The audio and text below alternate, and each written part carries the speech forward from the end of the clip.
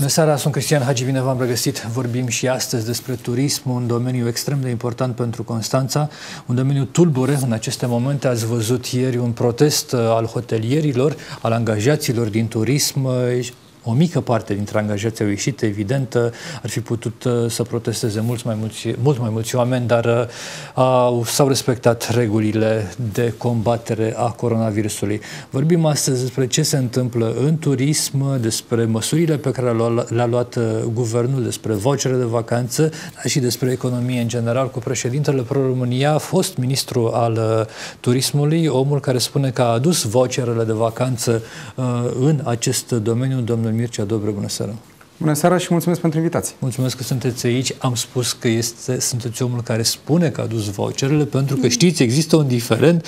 Ne-a zis aici, în campania electorală, actualul președinte al Consiliului Județean că uh, el este unul dintre cei care a insistat pentru vouchere și că putem să întrebăm, nu știu, pe Lucia Morariu, dacă nu mă înșel, că a avut un, uh, un rol decisiv. Poate ne explicați cum s-a întâmplat uh, Când am devenit ministru, exista și era în vigoare ordonanța de urgență numărul 8 pe 2009, da? dată pe timpul lui Emil Boc. Doamna Lucia Morariu, care are o companie foarte respectabilă în domeniul turismului, o agenție de turism foarte mare și chiar una dintre cele mai respectabile, da, era secretar de stat, era președintele Autorității Naționale de Turism.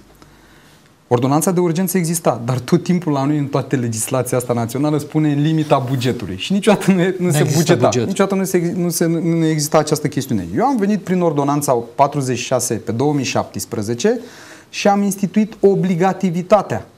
Când ai scris și imperativ obligativitatea, atunci toate instituțiile publice și companiile de stat unde statul era acționar majoritar au avea obligativitatea să-și facă filă bugetară în bugetul respectivelor instituții sau companii de stat în care să introducă voucher de vacanță. Punct. Că restul pe texte, că domne exista, că da, legea exista, dar nu se aplica. Am înțeles. Deci probabil că adevărul e, e undeva da, la mijloc. Este a insistat și am, domnul Lupu și cei din PNL. Ați uh, a fost făcută în anul 2007. Introdus și dumneavoastră această obligativitate.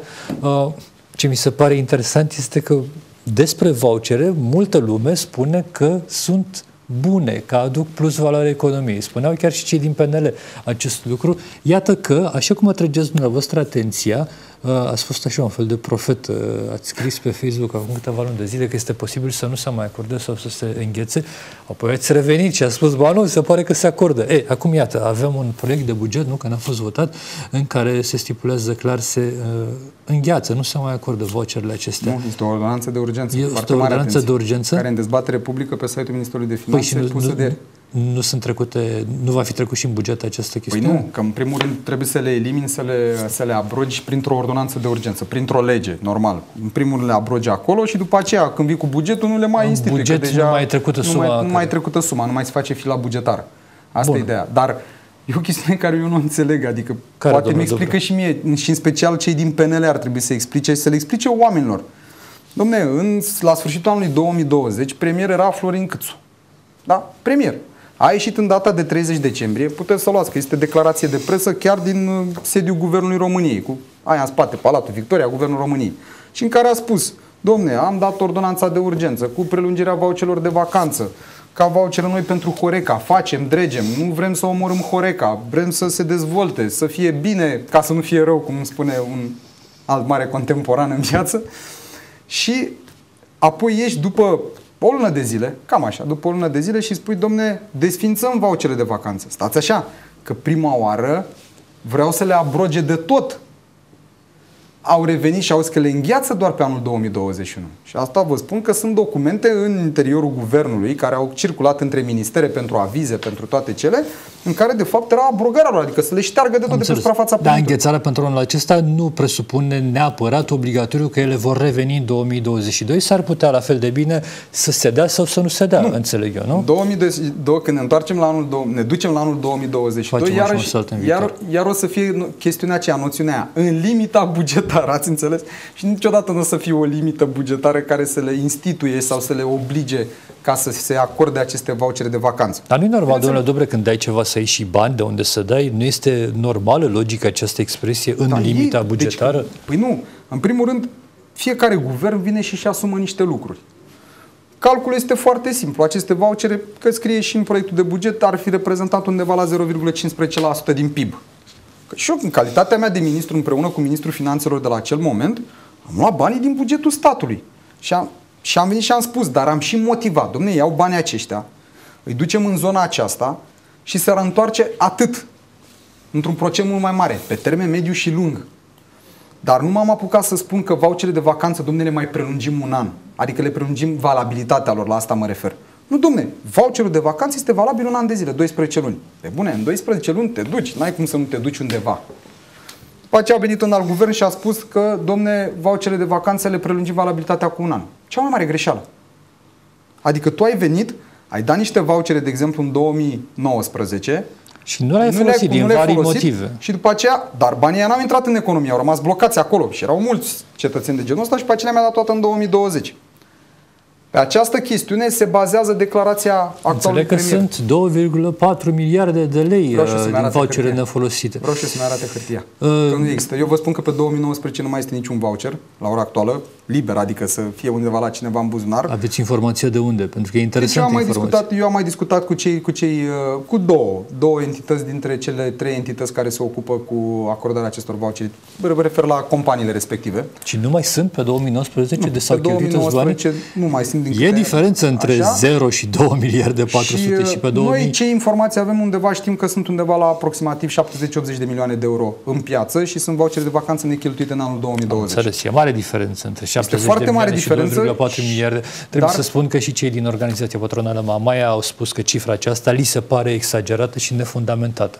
Acum, da. Păi, e, e foarte simplu. Avem trei entități care sunt acreditate de Ministerul Finanțelor, care doar aceste entități acordă aceste Da, el ar putea ști foarte bine, probabil. Da. Deci doar un click. Adică Ministerul Finanțelor Publice, sau dacă vrea premierul, le face un mail, dați-mi și mie prinț la dispoziție vouchere de, vacanță, de vacanță necheltuite. Că iau tot timpul, e în timp real. L-au și făcut, domnule Dobru. Nu l-a făcut, vă zic eu, pe bune. Hai, a la, inventat, domnule, cât așa o sumă? Pe cât nu cred. azi zice ceva, mâine zice altceva. Nu știu, să știți că eu îl văd ca pe o... și multă lume, ca să mă refer la mine, îl vede ca o persoană competentă, cu studii făcute, uh, nu știu, la universități celebre. din sistemul bancar cu... din Noua Zeelandă, vă rog A lucrat în Noua Zeelandă. a fost dat afară. Haideți să nu știu asta, nu știu. Chiar, e chiar publică informație. A fost dat afară din sistemul bancar din Noua Zeelandă. Și a venit cu coada între picioare, unde credeți? În România. Nu făcea, era, făcea parte din diaspora românească. Nu mai e bună diaspora românească când te dă afară normal, pentru că mecanismul afară funcționează. Când ești dat afară dintr-un sistem bancar, nu prea ai ce mai căuta în el. Dar când te dă afară cineva din sistemul public și ești incompetent, atunci te ia că ești bun. Că cu cât ești mai incompetent, cu atât trebuie să ocupi o funcție mai înaltă. Eu cred că este o greșeală mare, fatală a PNL-ului să pui premier pe Florin Câțu. Dar da, pe, cine, pe cine ați văzut, așa să facem o paranteză, din PNL? Nu poate Sau după spun. alegeri? Nu, eu nu pot să spun lucrul ăsta pentru că în primul rând n-am fost niciodată membru al Partidului Național Liberal. Totuși clasa politică din ce în ce mai mult vedem că se cam duce pe românește în cap. Gândiți-vă așa, în momentul în care în 2012 am intrat în Parlamentul României, cu toate că și atunci venea o generație nouă de parlamentari, când vorbim acum pe mandatul 2020-2024, în Camera Deputaților au mai rămas din mandatul 2012-2016 doar 56 de parlamentari din toate partidele. Adică sunt singurii 56 de parlamentari care teoretic, teoretic, subliniez teoretic, ar trebui să aibă experiență. Restul totul e nou. Ceea ce nu are cum să funcționeze un stat așa. E dificil un parlamentar care ajunge acolo acum are nevoie de timp pentru a-și da seama cum funcționează în lucrurile? Rând, să, în primul rând, sincer, credeți că s-a apucat vreunul să citească începând de la regulamente de funcționare Eu a celor convins, două camere? Da. Doi, trebuie să știți să faci inițiativă legislativă. Credeți că sunt mulți parlamentari care au făcut inițiativă legislativă să scrie un proiect de lege? Vă spun că nu. Este, păi, e, că atunci e când te duci acolo ai niște idei, te duci cu ceva, vrei să faci ceva. Una deci, să ai idei, deci vii și cu proiectele zilnic. în spate, nu? Nu există parte de proiecte. Nu poți să faci parte de proiecte în momentul în care tu nu cunoști legislație și nu știi etapele de a realiza o, și a iniția o, o lege. În primul rând trebuie să citești foarte mult și să stai foarte mult să-ți petreci timpul să citești. Eu nu cred. La ora actuală, la cum arată Parlamentul României, hai pe bune îl vedeți pe Stroie Felix că citește Stroie Felix, legislație să fac inițiativă legislativă. Să Eu știți că va, va și mie într-o emisiune Așa. electorală Așa. aici, în campanie. Nu, o emisiune electorală Stați, nu. nu stați un pic, că nu știți ce vreau să spun. Domnul Felix Trei mi-a recitat din uh, George Călinescu, cred că din istoria literaturii, uh, sunt convins că citește și legislația da. beletristică uh, cu foarte atât mai mult. Da, da, foarte da. frumos. Domnul Stroi Felix are o cultură generală foarte vastă. Da. Nu contestăm la acest lucru.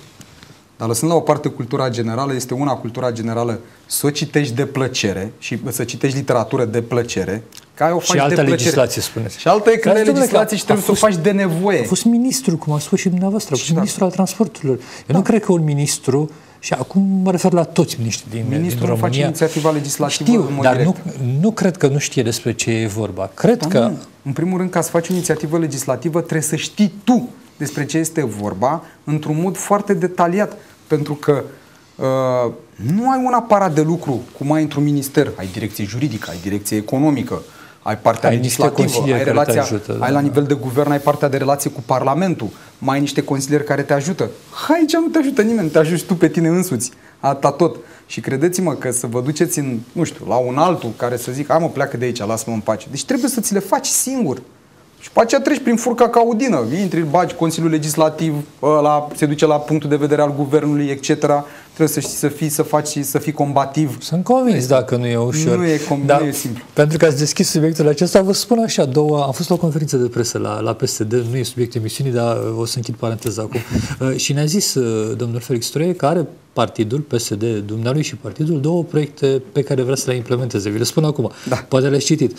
Unu, Uh, cine promite să răspundă că face ce a promis, dacă nu să fie amendat așa drastic, deci vine un primar și spune că, nu știu, construiește un metro, dacă nu-l face să fie amendat, doi, prezență obligatorie la vot. Cine nu se duce la vot, 300 de euro amendă. A fost o cifră așa avansată. Iată că sunt inițiative. Deci, Vedem să vor fi duse... Uh, îl invităm pe domnul Felix Troie, o să-l invit și personal într-o emisiune să ne povestească despre aceste lucruri, pentru că tot vorbim despre... În primul rând, eu cred că ar trebui să se înceapă de la o modificare a legii responsabilității ministeriale.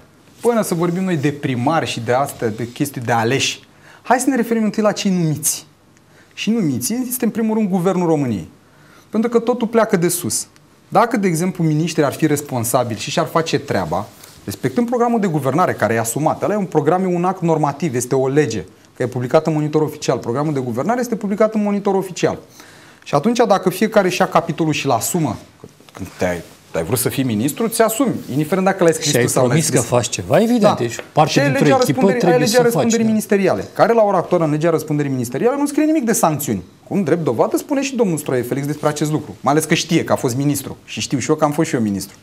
Da? Acolo trebuie să introduci sancțiuni. Să scrie ce acolo? Sancțiuni, ce fel de sancțiuni, domnule sancțiuni, Să-i rupă capul, să ia tot salariul. Să-și pună tot salariul joacă. Domne, stați puțin.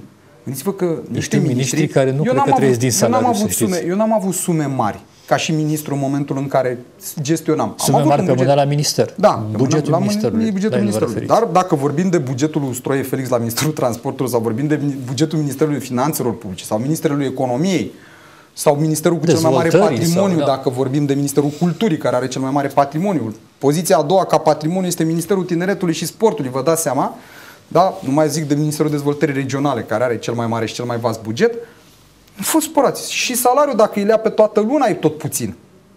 Domne, puneți, nu știu, puneți garanție. Casa. Bă, vreți să fii ministru? Și zici că fac, puneți, bă, garanție casa. Sau una din proprietăți, că marea majoritate au declarații de avere interesante, adică stufoase. Au ce să pună. Da, adică, haideți să fim serioși. Deci, despre ce vorbim? Asta că vine și face inițiativa de la zi. Nu, domne, vine și amendează legea existentă și trece la sancțiuni. Hai să-i văd.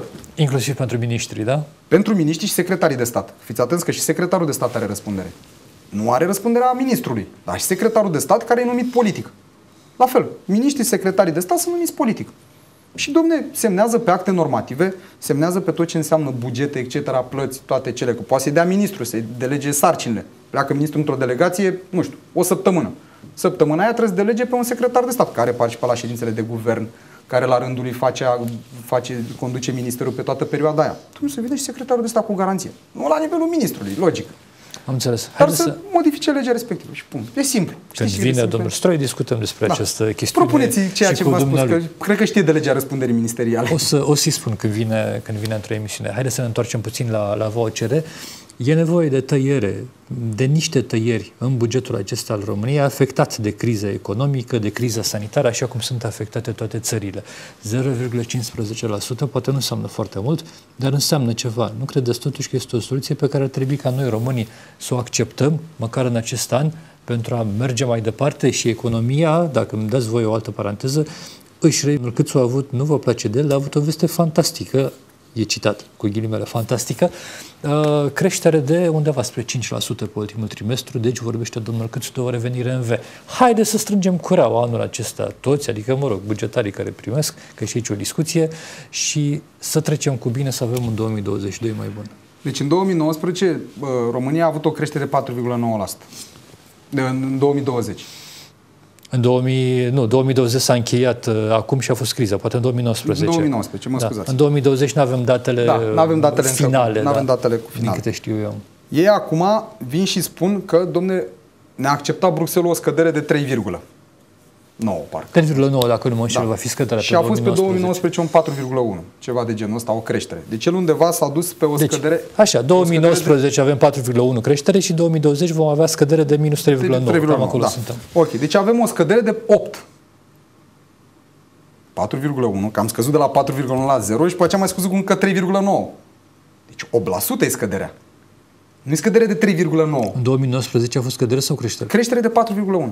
Deci am pierdut 4,1 și mai pierd încă 3,9. Am înțeles. Spuneți că am mers la vale așa 8%. cu 8%. Deci că toată da. lumea se uită că vede roșu ăla de desubt, știți, de 3,9.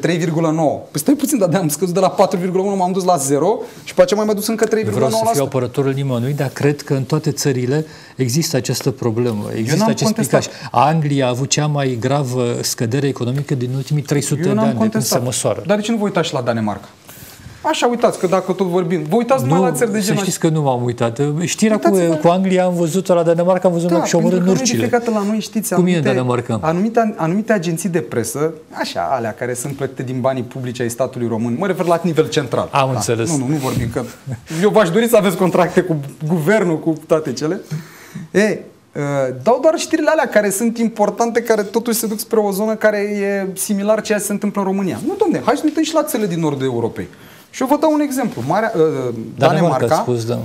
în perioada când a presimțit că vine criza, că vine, era deja pe criză sanitară, și anume în luna martie 2020, a luat o decizie și a spus, domne, în următoarele două luni, noi, statul danez, pe, în lunile aprilie-mai până la 15 iunie, vom face o injecție de capital danez, de capital din bugetul statului, în companiile private. Știți de cât? 9,2 miliarde de dolari.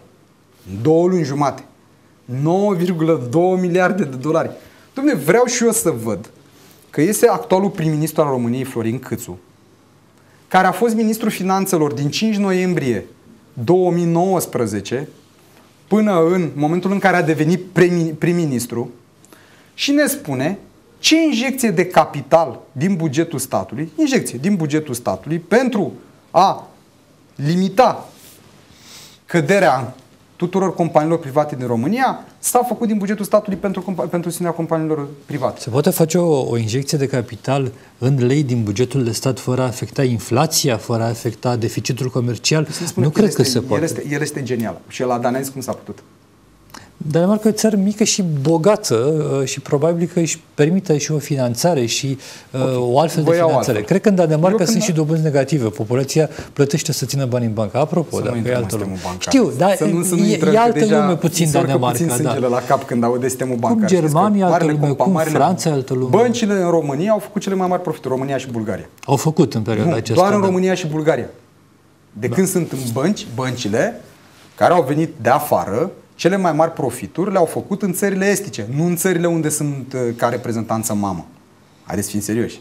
Acolo sunt mai așezate lucrurile exemplu, să O persoană așa. fizică în Suedia, care o cunosc personal, da? Ea a luat, a luat un credit bancar de 150.000 de euro cu 0,8% dobândă. Vă rog eu frumos să vă duceți dumneavoastră cu, cu, uh, cu ipotecă imobiliară. Am da? înțeles. Cu garanție imobiliară. Noi dăm probabil 5 eu vreau, să, eu vreau să vă duceți dumneavoastră, domnul Hagi, și să vă duceți la bancă să vă dea cu 0,8%. altă lume, dacă ne ținem banii acolo în nu, bancă, este, plătim. Nu, da, este și Europa. creditul este ieftin. Este Europa, nu e altă lume. Este eu Europa. înțeleg că lucrurile sunt diferite, da. Să Haideți știți că mă, mă uitam ieri la o știre, studenții francezi primesc uh, în fiecare săptămână câte un pachet de alimente care include cam tot ce vor, inclusiv dulciuri, și pot mânca cu un euro o masă, o masă cu trei feluri. E altă lume, totuși Franța, o țară știți, bogată, asta, o țară... varianta Victor Ponta a dat gratuitate la tot ce înseamnă CFR pentru studenți. După aceea au ieșit studenții în piața, o, piața Victoriei împotriva lui Victor Ponta. Acum vine guvernul PNL pe care îl susțineau ei atunci și văd că tot îl susțin, le taie din această, adică trebuie să vină cu 50%, dar nu mai iese nimeni în piața Victoriei. Ok, este superb. Niciun fel de problemă. Eu oricum ne merităm soarta și le spun în felul următor. Român luați pe pâine. Ceea ce ați votat aia aveți. Vă urez multă sănătate. Se pare că lumea nu e nemulțumită de ce foarte bine. Poate Eu că înțelege mulțumesc. nevoia unui an mai greu, unui an de oarecare austeritate. Mai stăm de vorbă. Mai stăm de vorbă cu înțelesul ăsta. Mai stăm de vorbă. Că Ziceți? știți cum e la români până îi ajunge cuțitul la os și atunci să vedem. Știți pe ce se bazează câțul la ora actuală? Vă spune pe ce se bazează. Se bazează pe faptul că nu mai este aceea situație din 2010 când a venit criza financiară. Și anume faptul că economiile la ora actuală în bănci, economiile românilor în bănci, versus creditarea este pe trend pozitiv.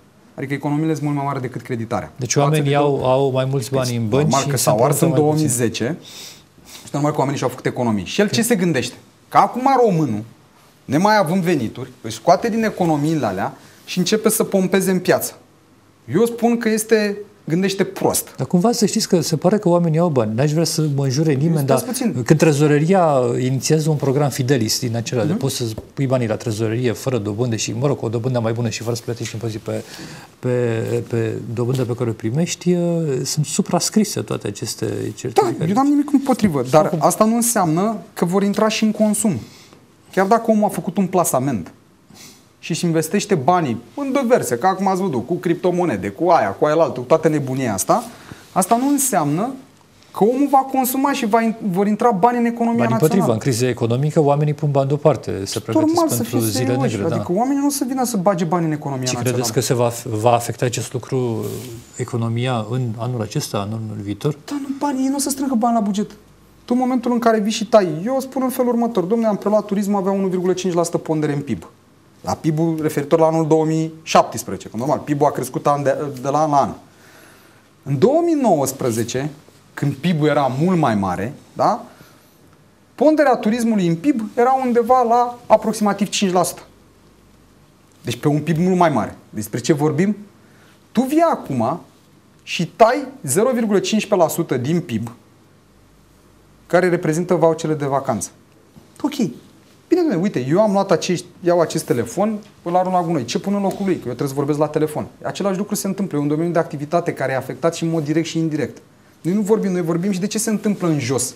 Categoric. Că nu vorbesc doar, domnule, m-am oprit la hotelieri. Stai că hotelierul are un contract, nu știu, spălătorie, are un, un restaurant, ea mănâncă, are un contract cu firme de distribuție, are un contract, cumpără șampoane, cumpără toate nebunile, consumabile, etc care tot angajați în spate, etc. Se duce totul pe orizontală. Categoric. Da, ați făcut vreodată vreun calcul sau o instituție independentă a făcut un calcul care să ne arate cât se pierde dacă se înlătură aceste vouchere? Că știm, teoria așa este. Da, se pierd bani pe orizontală. Pe, poate să facă uh, foarte, foarte simplu, este statistica care poate face acest lucru și eu cred că foarte bine și frumos poate face MFP-ul prin prisma, uh, pe prisma domeniilor de activitate. Că poți să faci vreo câteva județe care stau, să zicem, din punct de vedere al activității turistice foarte bine și le vezi veniturile. Și vezi și ce se întâmplă pe celelalte domenii de activitate. Că vorbim de spălătorie, că vorbesc de aia, de aia, de distribuție, etc. De toate chestiunile acestea. E, atunci poți să, că știți cum e, e un etalon nu poți să fie... Okay, da, nu faci în toată țara, da. Dar e interesant, făcut... pentru că toată lumea vorbește da, da. de pierderi dacă se elimină aceste văceri de vacanță. trebuie. Au toate datele și știți cum e că toate datele acum totul s-au mai digitalizat cât de cât, câteva clicuri. Dar nu vor. Știți din ce cauză? Pentru că s-ar putea să nu le iasă bine.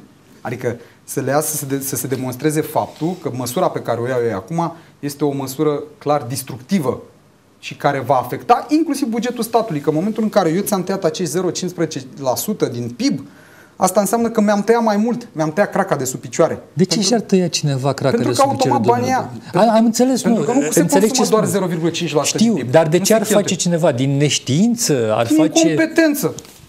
Pe bune, din incompetență. Am înțeles că azi la ora 3, Doamne ajută, poate se schimbă Da, ceva. noi înregistrăm emisiunea la, da, chiar la 3, e 3 Da. ceasul, da? Astăzi, Așa. acum, da? Da, Ce se doar întâmplă? la ora 15 uh, este o întâlnire a președintelui României cu premierul și cu Năsui. Și am înțeles că una din discuții va fi și acest subiect. Pentru că nu ai cum să... Nu, deci ei nu înțeleg un lucru. Dom'le, e un domeniu important pentru România. Și eu cred că în România au mai rămas domenii importante, turismul și agricultura, pe bune. Deci eu asta, văd, asta văd, altceva nu văd. Că alte industrie Și construcțiile, se construiește și mult, construcțiile, ok. Și da, ok, construcțiile omul, omul cumpără dacă are venituri. da? Mai Sau, muncim da, o să prin mai- Germania, mai venim în România și mai Ok, am cumpărăm, înțeles. da. O să vedem și cu libera circulație, că uitați-vă, unii vor să închidă granițe, Germania a închis un pic, sau mă rog, a înăsprit controlele la Am granițele cu controle. Cehia Deci, și cu haideți să ne uităm că Austria. ne cam, se cam complică situația în Europa din punct de vedere al liberei circulații. O să mai fie un an, cel puțin o să o mai tragem. Un an, un an jumate, poate chiar doi. Cu această pandemie, mă rog, cu această criză Asta eu sanitară. așa o văd, că până nu-ți descoperă tratamentul clar, nu vaccinul va rezolva cauza problemei, ci un tratament va rezolva cauza problemei. Un vaccin este să mai reducă din incidență, din problemă, din ok. Dar cauza problemei, discutată cu medici, a spus clar, domnule, cauza unei probleme o rezolvă tratamentul. Că și chiar dacă ai vaccin, poți face o formă.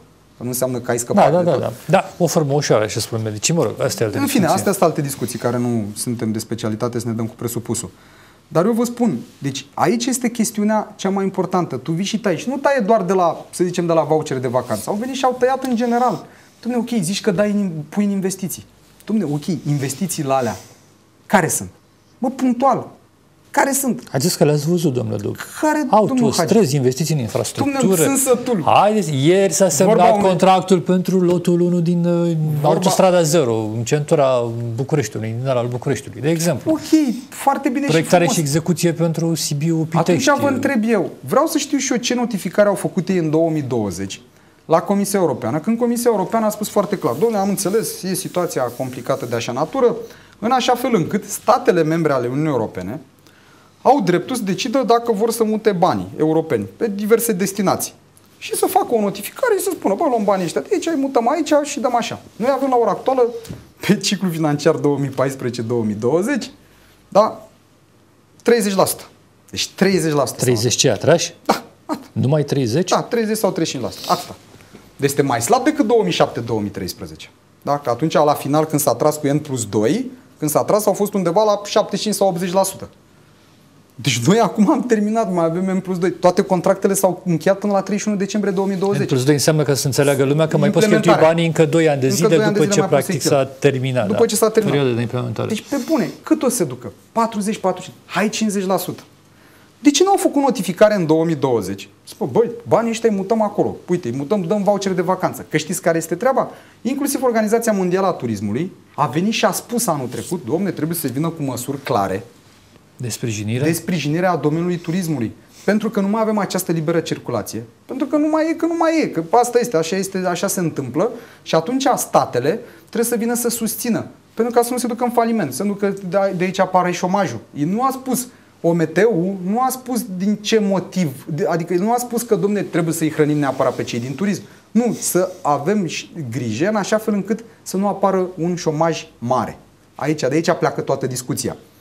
Uh, pentru că, vă dați seama, ce se întâmpla? Ok, România a pierdut foarte mult din punct de vedere al calității forței de muncă. Pentru că ce era mai bun a plecat afară.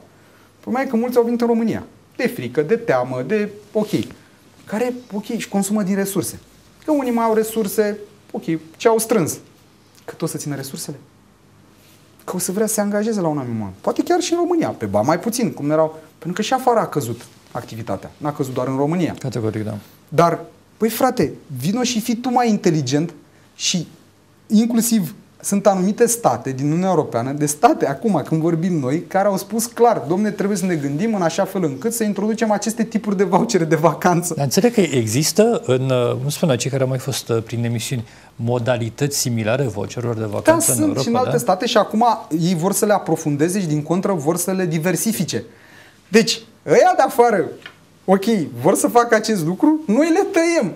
Deci noi suntem tot timpul invers. Ne-am chinuit, le-am implementat și nu vreau să mă apuc eu să descriu efortul din 2017, cum am reușit să le institui, da? când alții nu făceau, și în loc să le continuăm că suntem într-o situație de criză și o criză urâtă pentru acest domeniu de activitate, noi le eradicăm.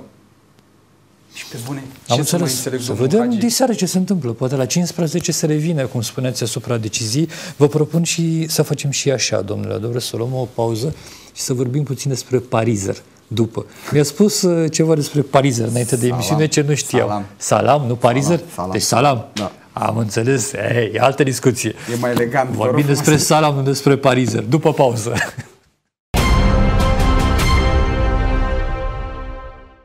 Ne-am întors în platoul Dobrogea TV, nu despre Parizer vorbim, despre Salam. Bun. Îmi spuneați, și îmi fac mă culpa, nu știam, uh, o știre, că nu vom mai avea voie cu Salam pe plajă sau despre ce e vorba? Nu, era un context în care domnul primar Chițac a declarat că, și aici sunt de acord cu dânsul, până la, dar până la o anumită linie, că pentru a susține cei din uh, Horeca în uh, stațiunea Mamaia trebuie luate niște măsuri suplimentare în așa fel încât să nu mai fie acea concurență neloială. Că știți, un restaurant, un proprietar de restaurant vine și investește foarte mulți bani și au investit foarte mulți bani și ți apare, nu știu, un fel de fast food sau alimentară care vinde tot felul de produse, normal, și face o concurență restaurantului, că și a lumea și mănâncă în cameră. Și aici trebuie să vii cu niște măsuri. Aici Probabil s-a precipitat puțin uh, primarul Constanței când a spus că, domne, să se interzică comerțul cu salam în supermarketuri. Nu poți să faci așa ceva. Eu o consider totuși plastic spus. Adică Așa, a folosit o metaforă. A folosit o metaforă. Dar pe adică, fond spuneți și vă pricepeți că are dreptate, nu? El are adică dreptate. N-ar nu. trebui să fie înțesată o stațiune simplu. de supermarketuri alimentari și Totdeauna am fost împotriva la acest lucru, S-a dar n-am dat, eu, n-am dat eu autorizațiile de funcționare nici când am fost ministru. Din păcate a dat cel care a fost înaintea domnului Chițac și a condus administrația publică locală și cel de dinaintea respectivului, dar uh, uitat numele sau cum? Nu, Decibal Făgădău și cu Radu Maze, nu am nimic da. împotrivă, că nu e niciun fel de secret lucrul ăsta. Dar, dar nu prea folosesc numele de fel, că nu-mi place să le folosesc numele, am să le fac reclamă. Am discret așa. Da, discret așa din punctul ăsta de vedere. E, ideea ce se întâmplă? Eu când am uh, făcut cu colegii din Ministerul Turismului proiectul Legii Turismului, era în așa fel încât la un moment dat guvernul să vină să dea anumite hotărâri de guvern, că la ora actuală știți avem 75 de acte normative, în continuare sunt aceleași, care se ocupă și reglementează domeniul turismului în România. Noi am, le-am luat, le-am comprimat, am făcut ca un fel de cod al turismului, o lege tehnică foarte simplă, undeva la 20 de pagini maxim, dar ce era acolo trecut de la litera A până la R sau S erau normele metodologice. Doamne, hotărâri de guvern. Deci o lege nu trebuie să aibă chestiuni de detaliu. Trebuie să fie o chestiune largă, generală și HG-urile, hotărârile de guvern, care se pot modifica oricând, în caz că ceva nu funcționează, în caz că ceva nu merge sau poate măsura aia propusă în HG nu este bună. Atunci o poți modifica maxim o săptămână. Deci poți să iei decizia foarte repede. O lege, ca să o schimbi, durează foarte mult, iar scandal, ordonanță de urgență sau prin Parlamentul un an de zile.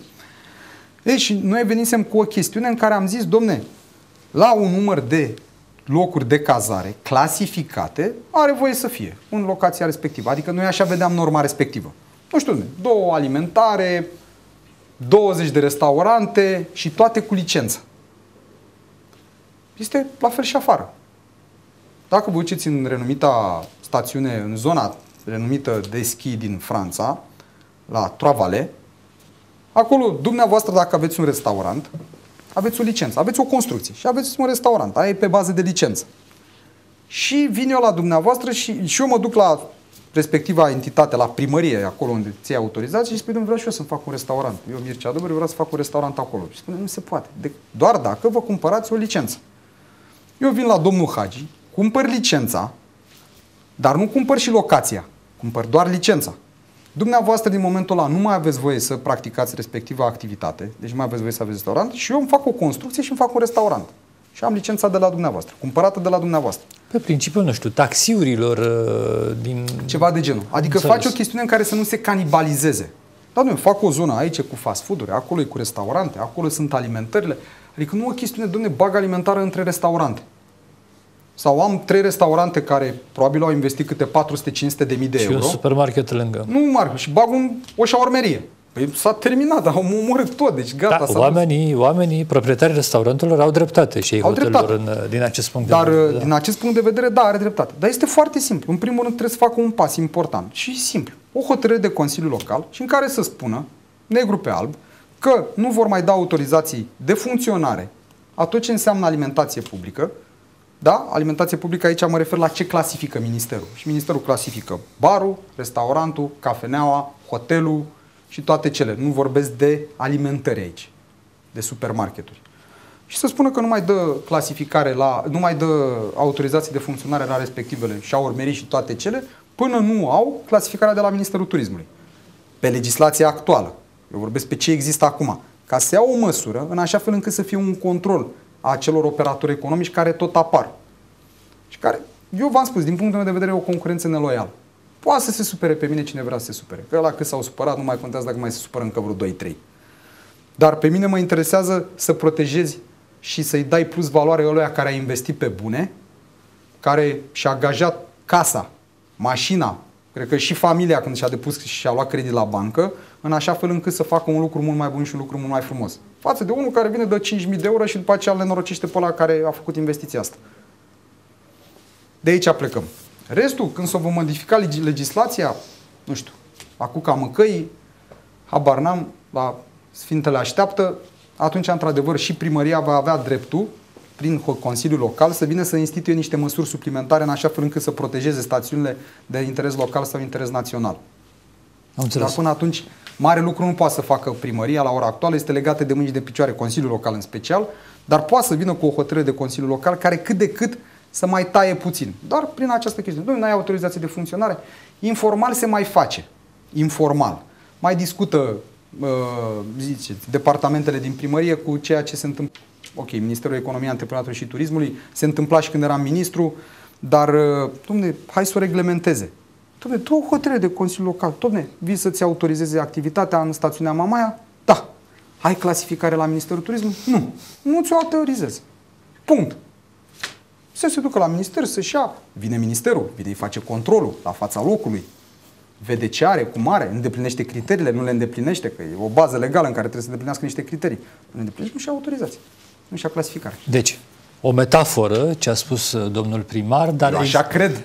Să spunem că a fost o metaforă, o metaforă și că există, există soluții pentru că această problemă reală din spatele metaforei, să da. spunem că a fost o metaforă, există soluții pentru a înlătura această Mâine poți să o inițiezi. Este așa de simplă. Are ordonanța de guvern 58-1998 care reglementează activitatea de turism în România. Are o hotărâre de guvern din anul 2001, nu mai știu pe de rost, dar e din anul 2001 Misiunea 2001, avem 20 Am de ani deja. Da, da, da. Ok? Eu de-aia n-am vrut. Eu probabil aici mi-aș asuma o greșeală. Eu am zis așa, domne, nu mă apuc să fac modificări de HG-uri și după aceea să fac o nouă lege ca să modificăm iarăși HG-urile. Dar am greșit, că nu mă așteptam să fie atât să se pună piedici când vrei să faci un lucru bun, care toată lumea și-l dorea, inclusiv cei din domeniul turismului, nu eu, că nu eram eu care... Eu discutam cu toți în Comitetul Consultativ în Turism. Îmi pare rău că n-am modificat HG-urile, să le aduc totuși la o realitate, la anul 2017, vă dați seama, alea, hotărârile de guvern sunt din anul 2001, 2002, 2003, când era Agaton ministrul turismului. Dar atunci nu s-a mai modificat vreme. nimic pe legislație, vă dați seama, da. totul e schimbat, totul e anapoda. Și măcar modificam HG-urile, știam domnule că erau în vigoare acum și era, măcar reglementam niște lucruri și uitați, ofeream în primul rând dreptul, uh, dădeam autonomia asta locală. Pentru că toate stațiunile sunt la fel. N-ai cum. Fiecare cu particularitatea lui. Dom'le, dă-i dreptul Consiliului, dă dreptul Consiliului Local să decidă ce se întâmplă la el în o gradă, pe partea de tot ce înseamnă activitate comercială. Nu, până acum ei nu pot să facă nimic, să legați de mâini și de picioare. Asta vreau să fac. Dar lasă-ne, fac legea întâi, și după aceea, bine, am crezut că împărățesc lumea, că voi sta la minister vreo 2-3 ani. Asta am stat un an și o lună, dar am zis că mă lasă măcar să-mi duc planul până la capăt. Dar l-am supărat pe Dragnea și asta este ce să fac. V-ați înșelat, da. Dacă tot vorbim de Mamaie și de, de ce se întâmplă acolo, Credeți că, cum credeți că va arăta stațiunea peste 5 ani de zile? Oh. Și eu mă gândesc așa, uh, dați-mi voie să vă spun la ce mă gândesc. 3000 uh, de apartamente noi se construiesc numai anul acesta, vor fi date în folosință. Cred că sunt 4500 în, în construcție. Sunt ridicate deja, din ce am văzut eu ca șantiere. Marea majoritate sunt ridicate. Nu, noi, scrie ziarul financiar, 3000 păi de noi, apartamente păi da, noi. Nu, sunt A, ridicate, date în folosință, aveți dreptate, ridicate și vor fi date în folosință anul acesta. 4500 da. în total, deci probabil păi, că 1500 urmează. 2500, mi se pare că e unul singur care deja are blocurile ridicate, vreo 2500, nu contează, okay. nu dăm numele. Era un, era un exemplu. Cum va arăta stațiunea Mamaia peste 5 ani Dar de zile? știți care e treaba? Ideea este, nu este că nu e în stațiunea Mamaia. Problema este că e în Năvodari. E în zona de Mamaia în nord. Haideți să facem o, să facem o departajare.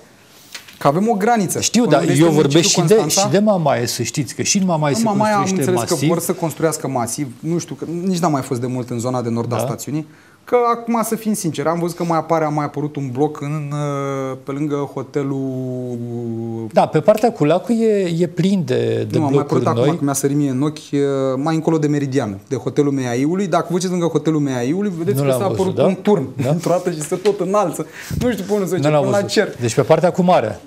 Nu e pe partea, da, pe, partea cu marea, da, pe, pe partea, partea cu marea, da, da, da, Exact. Și m-am uitat și eu, zic, bă, dacă n-a apărut și ăsta Mai e loc pe partea cu marea, că pe partea cu lacul mai e. e destul uh, Mai loc, e, da. vă zic eu că mai e. Mai e loc, mai e loc. Dar încă... spuneți că problema cea mare e spre Năvodar, după granița problema cu... Cea, cea mai mare e spre Năvodar, eu așa o văd. Am avut uh, cel puțin vara trecută când n-a fost aglomerat, ca să subliniez acest lucru, nu mai vă zic de acum două veri, dar vara trecută într-adevăr am avut niște cunoștințe care au stat în zona respectivă. Ce, ce au spus? Le-a plăcut sau cum? Au, au venit în vacanță, nu? Ba, păi știți, șansa lor știți care a fost, nu? Că au avut loc de parcare. Eu când am ajuns acolo, a trebuit să fac dreapta din drumul care leagă da. Mamaia de Năvodari. Deci credeți-mă că cred că am stat 10 minute. Venea o mașină din față, nu aveai loc. Pentru, ai dublu sens, dar ai, aveai dublaj la parcare. Aveau odată pe trotuar niște mașini și lângă trotuar niște mașini. Eu nu știu cum ieșeau alea de pe trotuar că erau bară la bară. Cred că erau și lăsau numerele de telefon, Probabil se sunau, ieșeau, da, da. ceva de genul acesta sau nu interesa să mai iasă.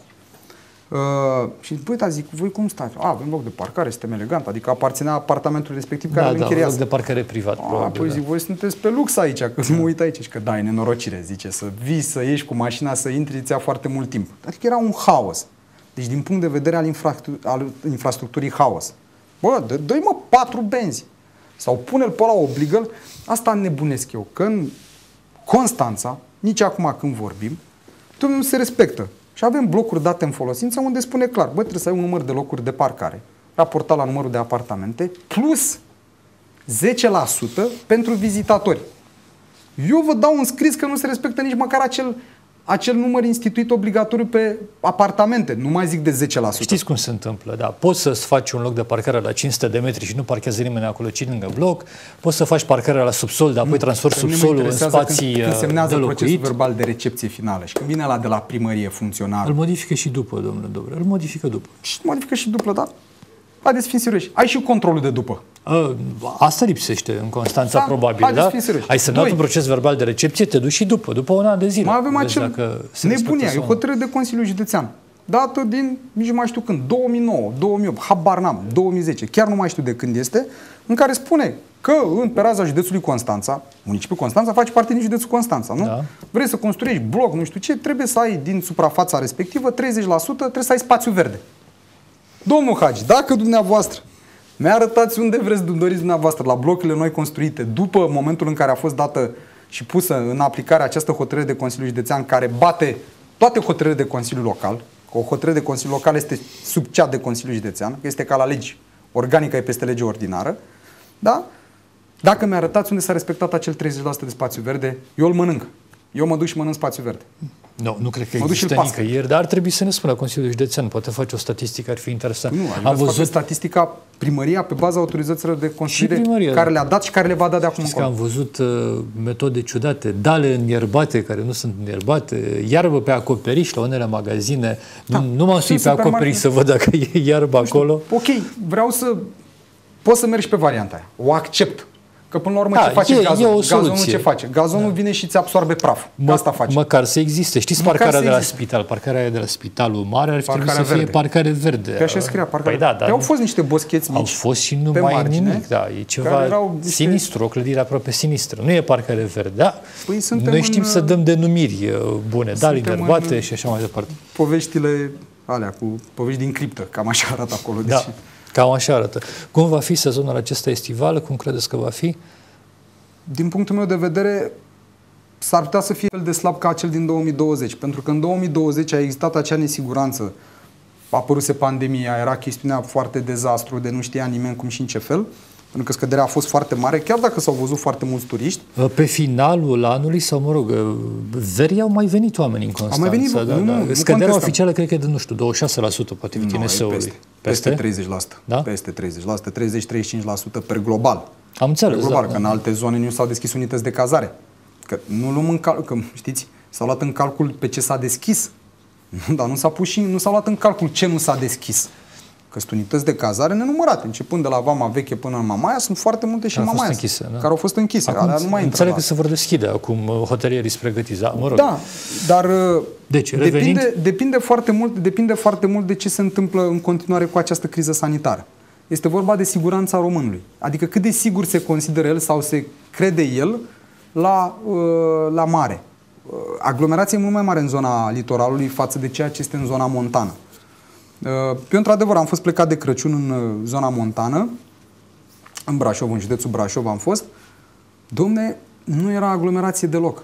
Deci, mă, mamă, ce... Da, am fost, fost în zona la, Castelului Bran. Ați fost la schi acum, n-ați văzut și în Poiana Brașov se stătea la... Nu, eu n-am fost la schi, n-am, da. că n-am, nu m-am dus la schi, dar am fost în zona Castelului Bran, unde pot să vă spun că an de, an, da. an de an eu mă duc acolo, am o pensiune la care mă duc și fac Crăciunul în respectiva zonă. Și de fiecare dată mă duc în zona respectivă, mă plimb pe jos. Deci era liber, deci era Wow! Adică liber ca niciodată, nu? Deci nu, erau locuri de parcare. Înainte A, nu aveai da? cum să treci cu mașina. Știu zona, acolo n-ai...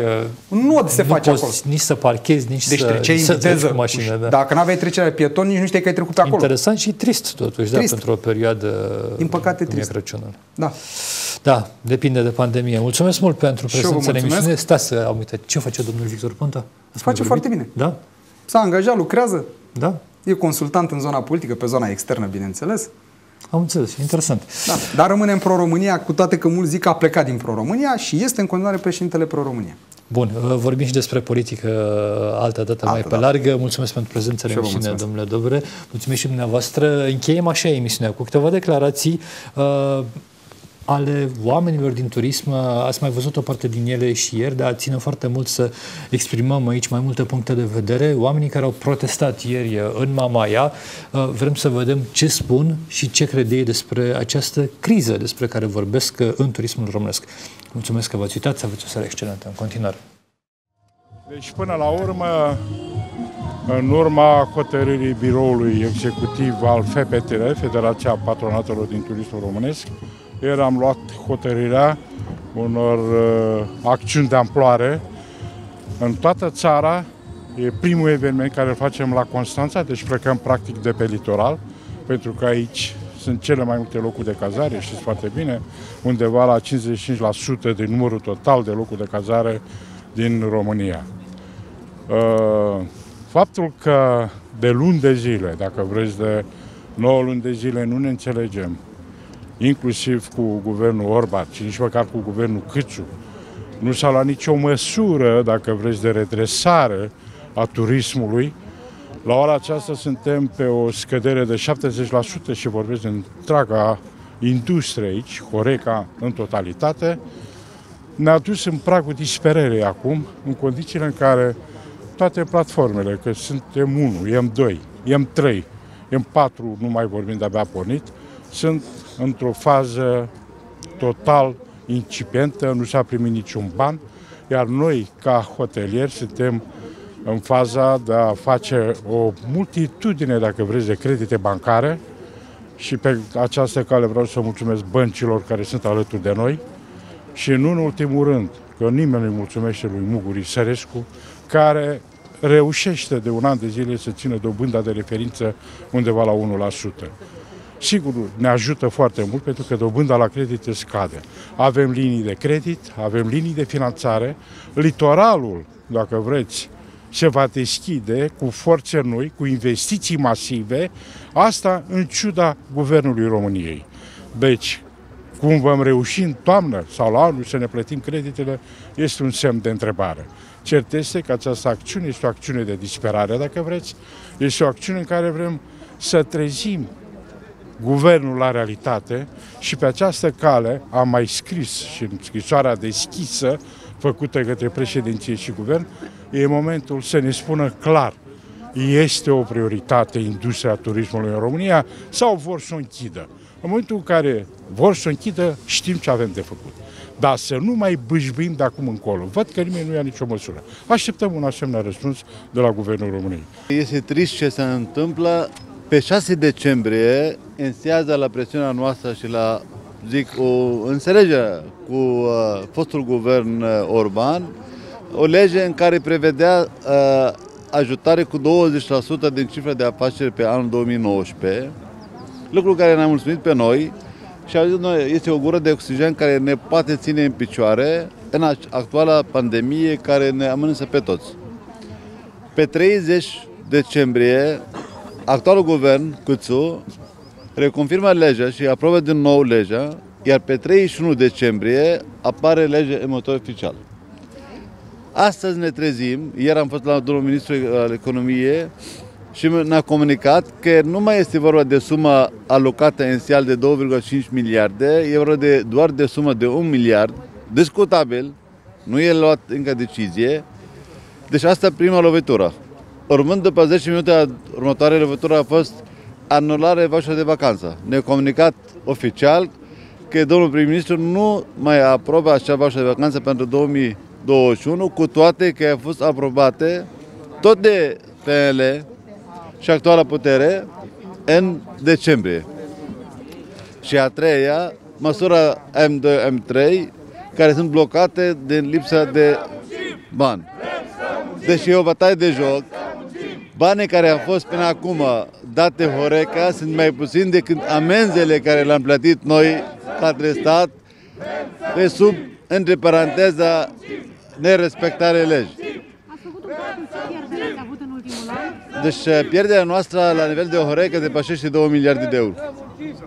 La nivel uh, cumulat. Este foarte grav. Eu vă spun și am transmis ieri domnul ministru, revenire va fi imposibilă. O să rămânem undeva la peste 30 spre 40% din Horeca o să dispare. Este trist, este singur sector economic unde capitalul românesc reprezintă 93%. Iar statul român va ajuta administrația locală? Uh, statul uh, român și mai degrabă, să spun, uh, partidele politice a avut un slogan foarte frumos în decembrie pentru alegerile. Văd că așa, acum nu mai au nevoie de așa slogan de uh, ce înseamnă un sprijin, ce înseamnă un dialog. Acum nu mai au nevoie de nimic.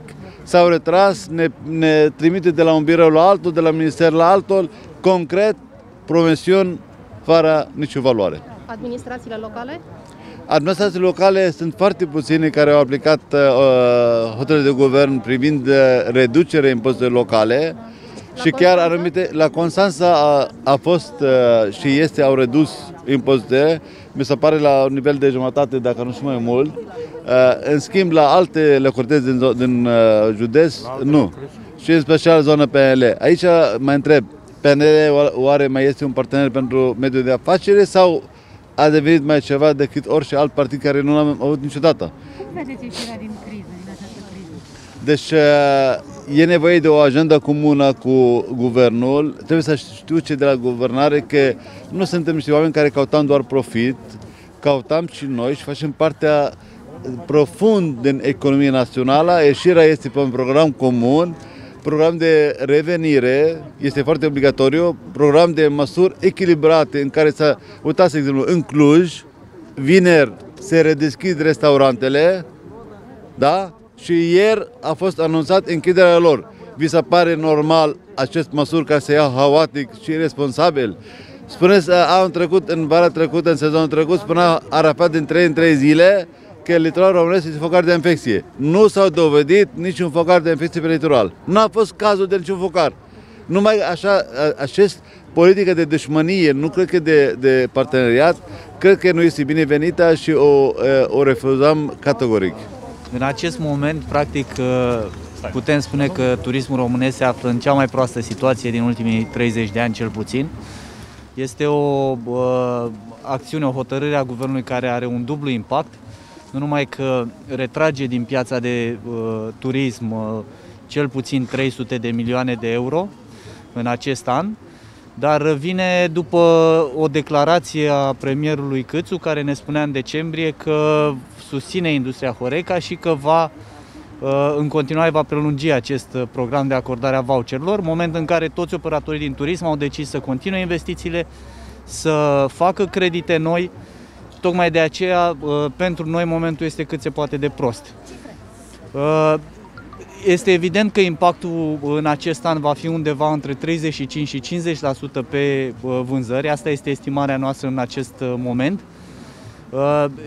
Noi facem eforturi uriașe tocmai pe o piață în scădere facem eforturi uh, de a aduce turiștii aici și investim mai mult pentru acest lucru. Deci uh, este de fapt singurul lucru pe care cred că putem să-l facem noi ca și operatori economici să continuăm investițiile cu sprijinul instituțiilor financiare, bancare și așa mai departe, pe costul nostru, pe uh, profitabilitatea noastră, pe munca noastră în următorii 10 ani, probabil, ca să reușim să, să acoperim pierderile din, din acești ani.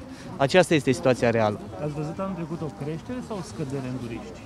Uh, anul trecut a fost uh, evident viciat de pandemie, deci a fost o scădere a numărului de turiști pe litoral, uh, undeva în jur de 30% în medie.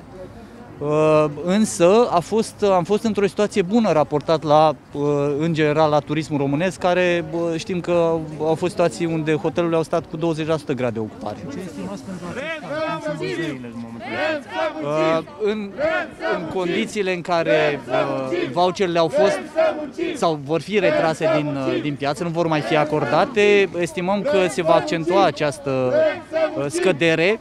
Evident, Uh, repet ce am spus mai devreme, noi vom continua să investim în așa fel încât să ținem oamenii în țară, să-i, să convingem să vină aici, dar uh, mă aștept să existe o cerere mai scăzută.